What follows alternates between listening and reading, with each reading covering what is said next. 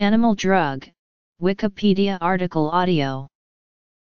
An animal drug refers to a drug intended for use in the diagnosis, cure, mitigation, treatment, or prevention of disease in animals.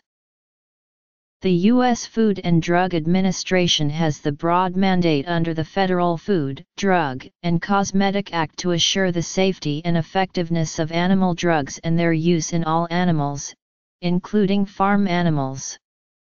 The division of the FDA responsible for this is the Center for Veterinary Medicine.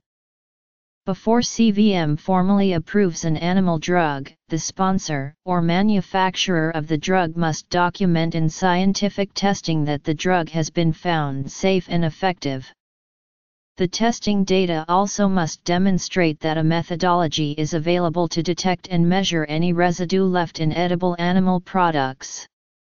Farmers and veterinarians using drugs on farm animals must adhere to guidelines about how much time must elapse before a treated animal can be slaughtered, and any other use constraints or warnings stated on the drug label.